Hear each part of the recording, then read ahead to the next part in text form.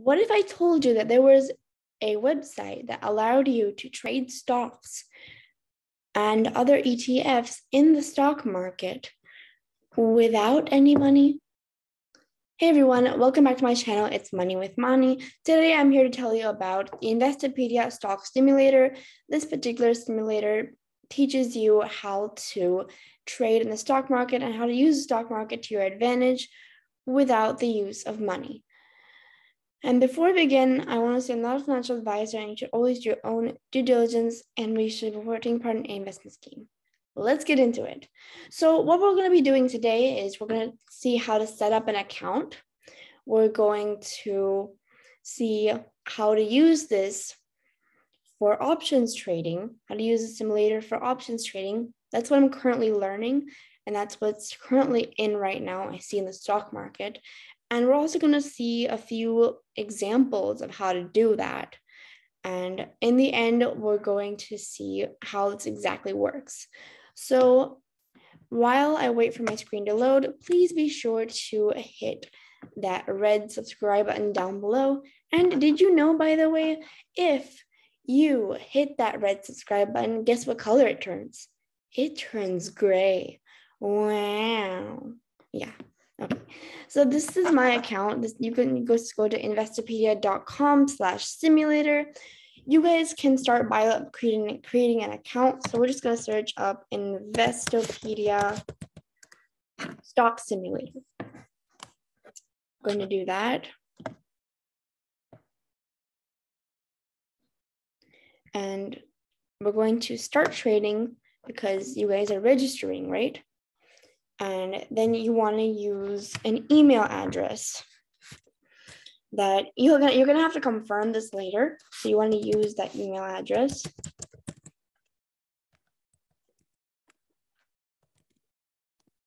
Use my school email address. And then you're just gonna want to fill everything in and then authenticate it later on. And then you'll be, you'll just be redirected to a login page and then you're ready to trade. So I'm just going to go back to this. You'll be led to this once you log in. And currently it's a Saturday afternoon. So the market is closed. That's why nothing, you can, you see literally nothing. And I've only placed one order I've placed one order, but I don't know. I'm not sure why it's like not showing up. Ah, there it is. I placed a call for Apple, a call option for Apple, and the current price 179. I put the expiration date of January 14th, 2022 at $180.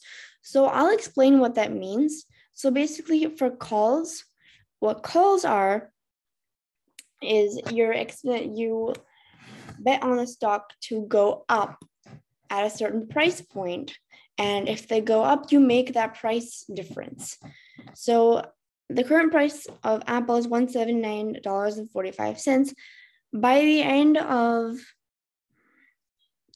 january 14th 2022 which is when this contract of calls expires which is when this deal expires I predicted that it will go up to $180. Now, if it goes up to at least that much, I get, oh, okay. So uh, basically, if it goes up to at least that much, I get about $6 per share. If we go here. So that's what happens. This will actually take effect on Monday since, since the market is closed. And Let's also see how to trade shorts. So you're going to want to go to the trade button right here and look up your company name. Let's, let's do Apple again. I'm not really going to buy this time.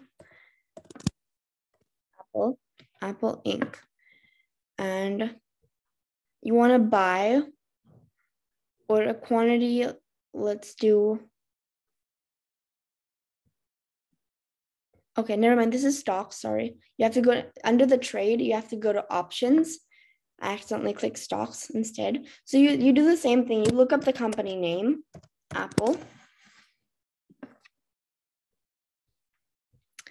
And be careful what you click for because this is calls and this is puts. Puts is like betting on the stock to go down. That's for pessimists. Like if you are a pessimist, that's for you. But I'm an optimist. I'll take calls. So current share price is 179.45. And if you want, and underneath this tab, you can select the time period. So it would be really safe to clear the longer time period you take, the safer it will be. But don't take too long, otherwise, it it doesn't. It's not very valid anymore. So let's say you're going to take January 14, 2022, which is what I did before, and you're going you're going to say that stock will go up by 185 or 180.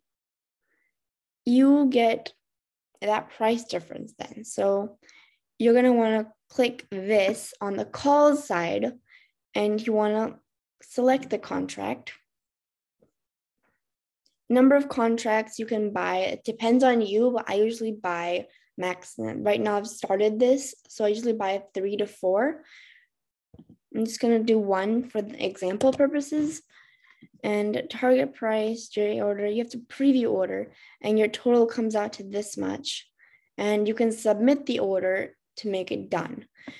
So that's basically it. I'm not going to really buy today because I think I've bought enough and I want to see everything in action in the stock market.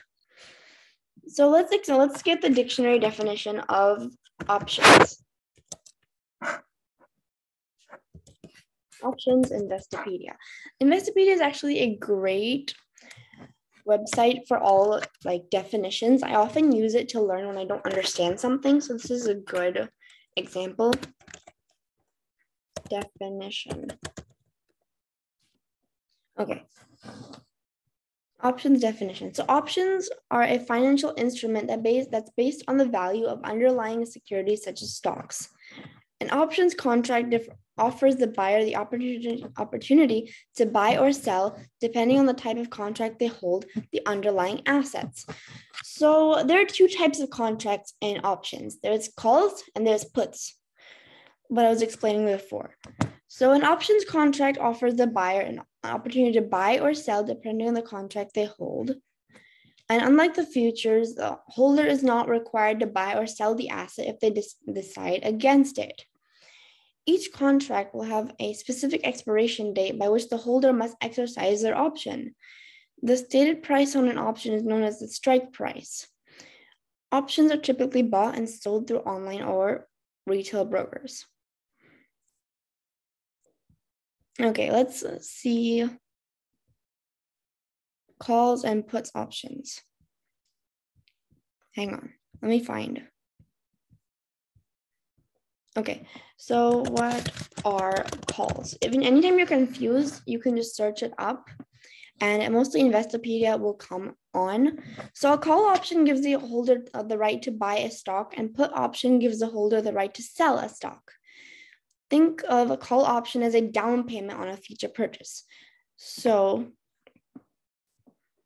for example, I'm just going to give my favorite example that I love to use when I explain calls. So, for example, a potential homeowner, you see a new develop, you see like a new development growing up.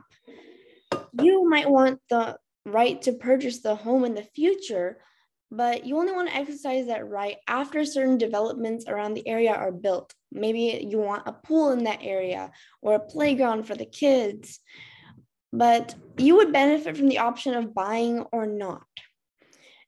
Imagine if you can buy a call option from the developer of the home to buy the home at, say, 400K at a point in the next three years. So while they can, you know it's non refundable deposit.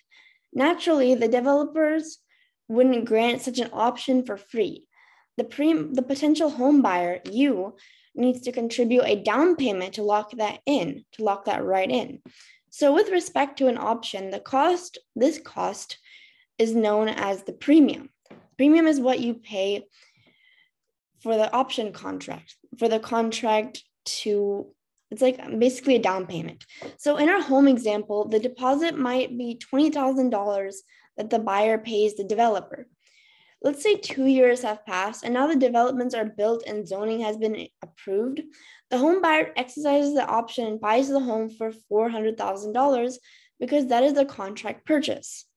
The market value of the home may have doubled through to $800,000, but however, because the down payment locked in the predetermined price, it's already locked there because you bought it at 400,000, the buyer will only pay 400,000. The buyer is in this case you. So now in an alternate scenario, say the zoning approval doesn't come through until year number 4. This is one year past the expiration date of the, this option. Now the home buyer has to pay the market price because the contract has expired. In either case, the developer keeps the original $20,000 collected. Okay, now let's explain puts. Now think of a put option as an insurance policy. If you own your home, you're likely to familiar with the process of purchasing homeowner's insurance. So a homeowner buys a homeowner's policy to protect their home from damage, right? They pay an amount called premium for a certain amount of time. Let's say, let's take a year. The policy has a face value and it gives the insurance holder protection in the event the home is changed. What if instead of a home, your asset was a stock or index investment? So similarly, if investor want, if investor A wants insurance on their S&P 500 index portfolio, they can purchase put options. An investor may fear that the bear market is near. Like I said before, these, these are for pessimists, and they may be unwilling to lose more than 10% of their long position in the S&P 500 index. If you're a bear on something, then you can make money off of that as well with puts. So if the S&P 500 is currently trading at $2,500, they can purchase a put option giving them the right to sell the index at $2,250 for example, at any point in the next two years. So in the next two years, if the S&P 500 index goes from 2,500 to 2,250, and that actually happens and they sell it at that point, they make that difference of $250 or 250 points.